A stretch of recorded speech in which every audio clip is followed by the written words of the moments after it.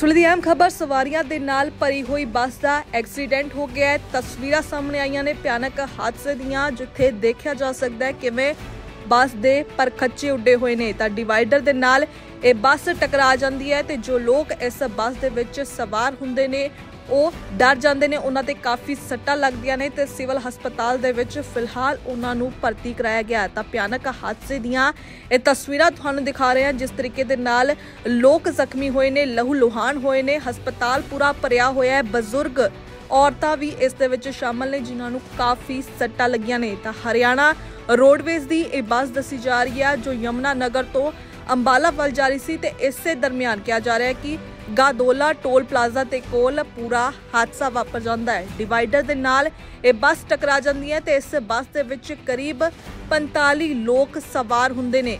ਜੋ ਸਵਾਰੀਆਂ ਨੇ ਉਹਨਾਂ ਦੇ ਮੁਤਾਬਕ ਬੱਸ ਦੀ ਬ੍ਰੇਕ ਫੇਲ ਹੋ ਜਾਂਦੀ ਹੈ। ਬੱਸ ਦੀ ਰਫ਼ਤਾਰ ਇੰਨੀ ਤੇਜ਼ ਹੁੰਦੀ ਹੈ ਕਿ ਜੋ ਚਾਲਕ ਹੁੰਦਾ ਹੈ, ਉਸ ਤੋਂ ਬੱਸ ਕਾਬੂ ਨਹੀਂ ਹੁੰਦੀ। ਬੇਕਾਬੂ ਹੋ ਕੇ ਇਹ ਬੱਸ ਡਿਵਾਈਡਰ ਦੇ ਨਾਲ ਟਕਰਾ ਜਾਂਦੀ ਹੈ ਤਾਂ ਹਸਪਤਾਲ ਦੇ ਵਿੱਚ ਹਾਹਾਕਾਰ ਮਚ ਜਾਂਦਾ ਹੈ ਜੋ ਜ਼ਖਮੀ ਪਹੁੰਚਦੇ ਨੇ ਉਹਨਾਂ ਦੇ ਜੋ ਰਿਸ਼ਤੇਦਾਰ ਪਹੁੰਚਦੇ ਨੇ ਉਹ ਵੀ ਰੋਣ ਲੱਗ ਪੈਂਦੇ ਨੇ ਆਪਣੇ ਕਰੀਬੀਆਂ ਦਾ ਇਹ ਹਾਲ ਦੇਖ ਕੇ ਤਾਂ ਭਿਆਨਕ ਹਾਦਸੇ ਦੀਆਂ ਇਹ ਤਸਵੀਰਾਂ ਸਾਹਮਣੇ ਆਈਆਂ ਨੇ ਇਸ ਮੌਕੇ ਜੋ ਲੋਕ ਫੱਟੜ ਹੋਏ ਨੇ ਉਹਨਾਂ ਦਾ ਕੀ ਕੁਝ ਕਹਿਣਾ ਹੈ? ਆਓ ਸੁਣਦੇ ਹਾਂ चालीस पचास की स्पीड में बस थी जी तो एकदम उन्हें कट मारा जी तो कट मारने की वजह से वो डिवाइडर में टच होगी जी।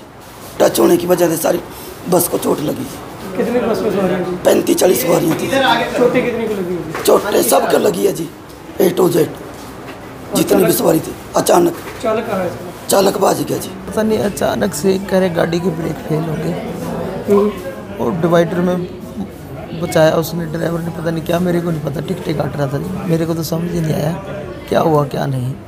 मेरे भी अंदर होठ पे चोट लगी है और एक गुड्डे पे गुड्डा नहीं सीधा हो रहा है टांग कहाँ से कहाँ जा रही थी बस अम्बाला न यमुना नगर से अम्बाला कैंट जा रही थी कितनी सवारी हो गई इसमें उसमें होगी चालीस पैंतालीस सवारी होगी ਤਾਂ ਜ਼ਖਮੀ ਲੋਕਾਂ ਦੇ ਮੁਤਾਬਕ ਬੱਸ ਦੀ ਰਫ਼ਤਾਰ ਕਾਫੀ ਤੇਜ਼ ਸੀ ਅਚਾਨਕ ਬੱਸ ਦੀ ਜੋ ਬ੍ਰੇਕ ਹੁੰਦੀ ਹੈ ਉਹ ਫੇਲ ਹੋ ਜਾਂਦੀ ਹੈ ਤਾਂ ਡਿਵਾਈਡਰ ਦੇ ਨਾਲ ਇਹ ਬੱਸ ਟਕਰਾ ਜਾਂਦੀ ਹੈ ਤੇ ਇਸ ਹਾਦਸੇ ਦੇ ਵਿੱਚ ਕਾਫੀ ਲੋਕਾਂ ਨੂੰ ਸੱਟਾਂ ਲੱਗੀਆਂ ਨੇ ਲਹੂ ਲੁਹਾਨ ਲੋਕ ਹੋਏ ਨੇ ਜਿਸ ਤੋਂ ਬਾਅਦ ਹਸਪਤਾਲ ਸਿਵਲ ਦੇ ਵਿੱਚ ਲੋਕਾਂ ਨੂੰ ਭਰਤੀ ਕਰਾਇਆ ਜਾਂਦਾ ਹੈ। ਫਿਲਹਾਲ ਪੁਲਿਸ ਦੇ ਵੱਲੋਂ ਜ਼ਖਮੀਆਂ ਦੇ ਬਿਆਨ ਤੇ ਮਾਮਲਾ ਦਰਜ ਕਰ ਲਿਆ ਗਿਆ ਹੈ, ਜੋ ਸਵਾਰੀਆਂ ਨੇ ਉਹਨਾਂ ਦੇ ਮੁਤਾਬਕ ਜਿਸ ਵੇਲੇ ਹਾਦਸਾ ਵਾਪਰਦਾ ਉਸ ਤੋਂ ਬਾਅਦ ਜੋ ਬੱਸ ਦਾ ਚਾਲਕ ਹੁੰਦਾ ਹੈ, ਉਹ ਮੌਕੇ ਤੋਂ ਫਰਾਰ ਹੋ ਜਾਂਦਾ ਹੈ।